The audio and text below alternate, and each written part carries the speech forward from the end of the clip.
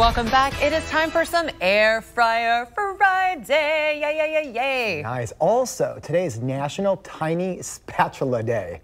And we are celebrating with tiny Like two of the tallest people Let us gingerly touch swords. There we go. All right. tiniest utensils in here. Like- so let's jump right in.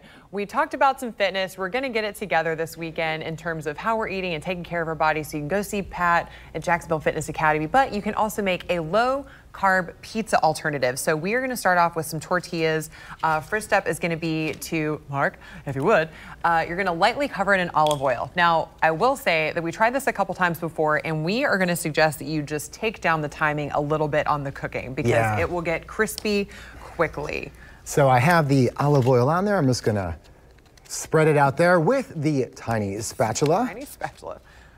All right, so olive oil is. I should put it on both sides. Double little coating there. Actually, that seems, you know, if it were, if I was, if I was going to be the TikToker, I think I would actually just kind of like coat this in a pan just to make sure I had it on both sides. You know what I would do? The spray.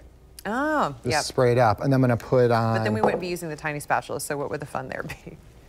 All right, and again, this is low carb, and it's actually, I would say, on the lower calorie side. So this is perfect for the weekend that we have coming up, especially on those rainy days. Also, get the kids involved in this. It's something they could easily do. Here's what I'm gonna do. All right, I'm gonna go rogue with this one.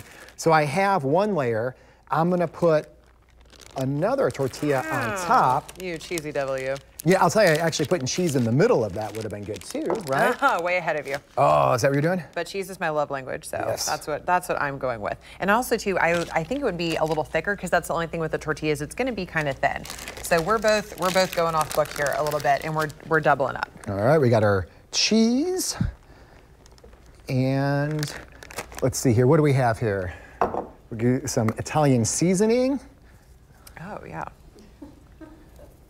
I also like some garlic. well, bam! Right, bam. and then uh, what else do we got here? Ooh, Look, I literally said I was like, I would like some garlic powder. yeah, some garlic. This is gonna look Okay. pretty good. All right, so We're both getting really into the air fryer Friday. So 400 degrees, three minutes. Now, I would say take a whole minute off of that from our, our results. On River City Live, we love you, so we're going to tell you exactly how things turned out. Look it's at a that. little crispy. A little on the dark side. He's a little crispy. All right, but here that's you go. totally fine. Let's see what we got here.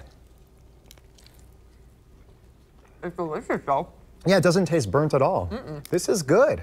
All right, this is a good Bravo, recipe. Kendra. Try it at home, and don't forget, Tiny Spatula Day. It's a thing. All right, stick around, more to come right after this.